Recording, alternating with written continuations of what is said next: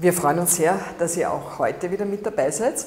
Heute gibt es was ganz Spezielles und zwar backen wir heute eine, ja, eigentlich Südtiroler Spezialität und zwar Finchkal. Und die Finchkal machen wir heute aus Vollkorn und diese auch wieder ganz an weichen Teig, besonders saftig und aromatisch. Da riecht schon das Schabziger Klee. Und vielleicht ganz kurz zur Geschichte dieser Winschkerl. Der Simon ist ja immer mit äh, seiner Freundin und mit Freunden gemeinsam, die bewirtschaften im Sommer vier Monate lang eine Alm mhm. in Südtirol, nämlich in den Dolomiten. Und das Besondere daran, man kann ihn dann vier Monate nicht erreichen, ja. nämlich kein Telefon, keine Internetverbindung, hoch auf der Alm, nur mit 200 Stück Vieh, die Käsen, die backen Brot. Das ist eigentlich super, oder? Ist super und für mich ein ganz spannender Einblick auch in die Südtiroler Backkultur was dort einfach vorherrscht und was zu machen ist. Was ich schon jetzt verraten darf, er wird nämlich auch einmal Schüttelbrot machen. Das hat er gerade in diesem Sommer extrem gut gelernt. Er hat gesagt, ganz viel geschüttelt und das werden wir natürlich auch einmal machen. Aber heute die Winschkerl. Was ist alles drin, Simon? Wir haben wieder eben reines Vollkornprodukt, Emmer Vollkornmehl, Emmer eben ein Vorfahre des heutigen Hartweizens, sehr interessantes Getreide, bringt ein volles Aroma. Roggenvollkorn, und zu den Mehlen nur, da ist nur Waldstaubenmehl im Sauerteig verarbeitet. Da ganz ein schokoladiges Aroma. Und dann haben wir zusätzlich noch Honig, ein bisschen Malzcuvée für eine feine Kruste und eine schöne Farbe und das Salz. Ja, und das Salz, einerseits ganz wichtig fürs Brot, aber gerade bei den Winschgel auch die Gewürze, man braucht wirklich die richtigen Gewürze dazu. Ich habe hier, und das, also ich mag den Geruch wahnsinnig gern, das ist Schabziegerklee.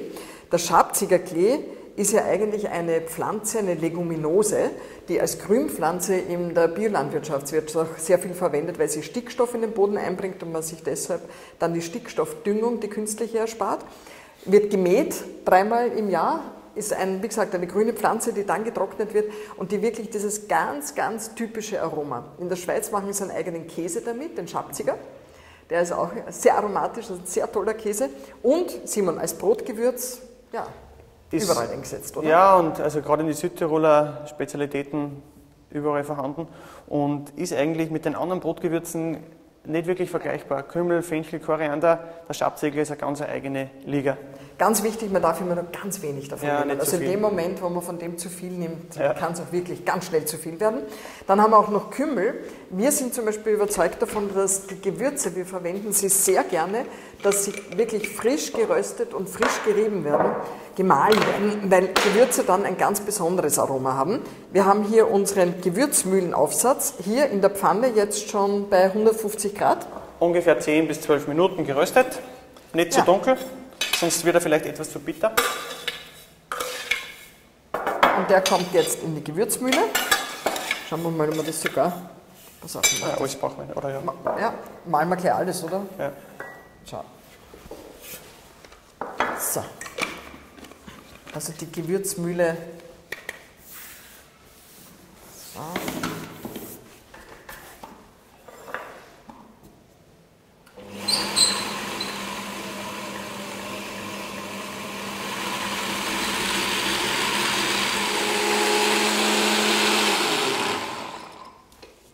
Diesen Aufsatz kann man wirklich in, Wind, in Windeseile seine Gewürze malen. Das ja? Dann wiegen wir jetzt das Gewürz ab. Ach, das ist Wahnsinn, was der ja, so Kümmel, aromatisch. Ja, das ist sehr aromatisch, wenn man den röstet und dann frisch malt. Da kommen jetzt zum Schabziegerklee noch dazu gewogen.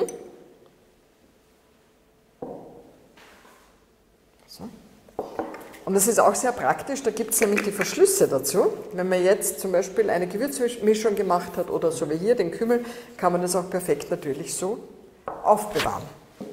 Gut, zum Rezept. Wir haben wieder das Wasser zuerst rein. Das machen wir damit dann, wenn wir dann den Knethaken eingesetzt haben, dass der wirklich irgendwie den ganzen Teig erwischt und nicht unten die Mehlreste kleben bleiben. Hefe. Hefe und Sauerteig. Also der Sauerteig ist eben ganz schön aufgegangen. Gerade das perfekte Stadion.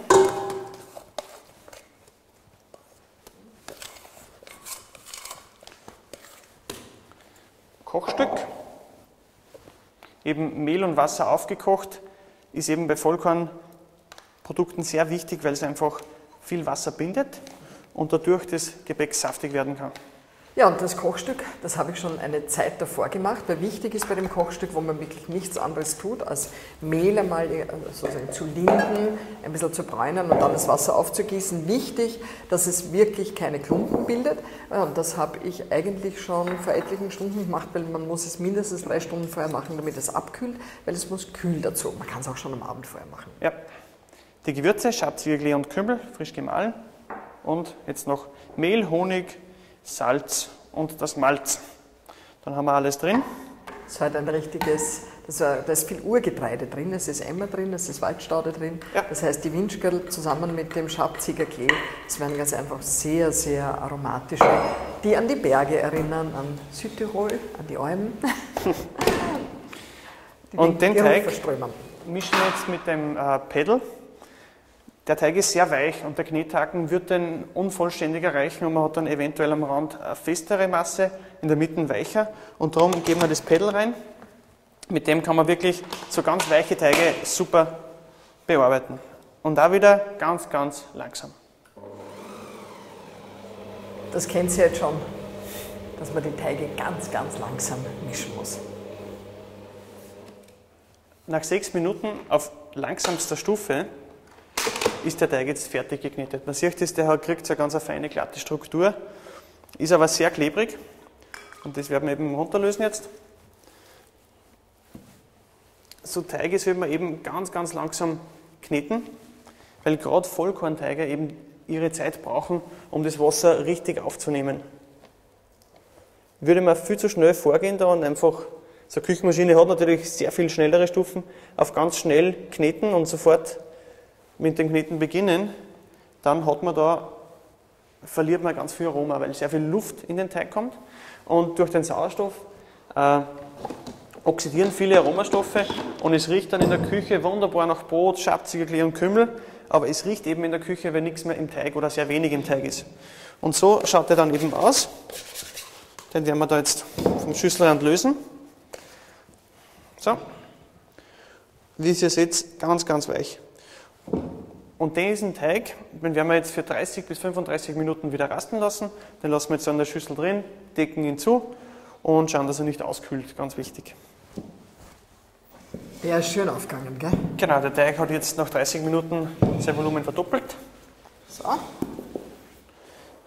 Das ist ein Rockenschrot, mit dem wir den jetzt eben bestäuben und auch die Fläche. Und für die Winschgel, das werdet ihr gleich sehen, ist das ein sehr weicher Teig. Das glaubt man eigentlich gar nicht, dass sich dieser weiche Teig dann wirklich zu Weckern verarbeiten lässt. Man leert ihn auf, auf das Roggenschrotbett. Genau. Und dann, so wird das genannt, dann rupft man ihn. Weißt du, warum das Rupfen heißt? Weiß ich eigentlich nicht. Aber ich glaube, weil das werden wir dann eh gleich sehen, dass es von dieser typischen Handbewegung ableitet. Man sieht, der ist wirklich ganz weich und auch sehr batzig und klebt sehr an den Fingern drum. Jetzt mit Rockenschrot wirklich gut bemehlen. Man kriegt dann auch eben diese typische Optik mit der rissigen Oberfläche. Und jetzt ist ganz wichtig, den Teig nur mit bemehlten Händen angreifen und dann so mit einem zum Dreieck, geformt, zum Dreieck geformten Händen bis zur Tischplatte hinunterdrücken und dann so wegrupfen. Und da geht es darum, so vorsichtig wie möglich, dass einfach das Volumen wirklich schön erhalten bleibt. Und ich baue auch ein bisschen und ich setze es ab. Und das Wichtige ist eigentlich, dass man es ganz schnell macht. Gell? Du rupfst und ich setze weg. Ja, man kann es daneben beim Wegsetzen nur so leicht rund formen und dann so hin. Und mit der Teigkarte wieder zu einer schönen Kante machen.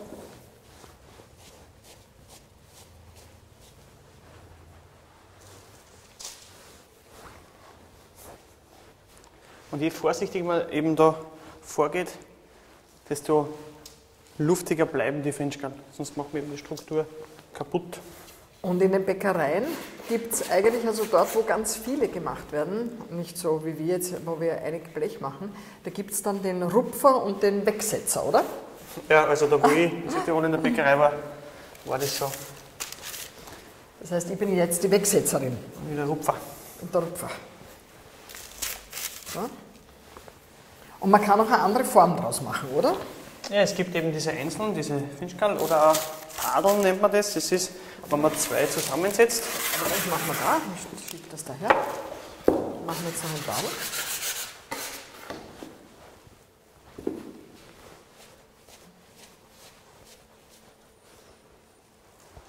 Genau, die Padeln, da würde man einfach zwei so zusammengeben. Die wachsen dann eben beim Backen zusammen. Wir sind jetzt soweit, jetzt geht es ans Backen. Die Teiglinge sind jetzt zehn Minuten, haben wir die liegen gelassen, sind entspannt und weil die einen Schwaden brauchen und wir ein Gerät haben mit einer Klimagarfunktion. So, Wasser ist eingesaugt. Mache ich das jetzt mal. Also, wie gesagt, die, das sieht man, die sind schön auseinandergelaufen. Man sieht es an den Teiglingen auch aufgegangen, haben eine schöne, gespannte Oberfläche. Ja, und so kommen die jetzt ins Rohr. So. Bei 235 Grad. Und da bleiben sie so 16 bis 18 Minuten. Ja, und wie gesagt, und jetzt kriegen sie noch einen manuellen Dampfstoß. Da sind jetzt unsere Minschkel frisch aus dem Rohr und abgesehen davon riechen es total noch Südtirol, oder? Ja, Erinnerungen an die Alm. auf jeden Fall eben dieses aromatische Gebäck mit Sauerteig gebacken und der Schabziegerklee ist ganz deutlich. Sehr. Ja, und wenn man das Padel bricht, sagt man, gibt es irgendein Ritual, irgendein, ich weiß es nicht, gibt es da irgendwie eine Geschichte dazu? Ich weiß zumindest nichts. Wenn man das Padel bricht, dann, Kommt vielleicht die Kuh vor der Alm zurück wieder, ganz heil im Sommer. also wir wissen es nicht, aber wenn ihr vielleicht wisst, was das bedeutet, dann schreibt uns das, wir freuen uns drüber. Und wir essen jetzt unsere frischen Finchkerl. Bis zum nächsten Mal. Wiederschauen.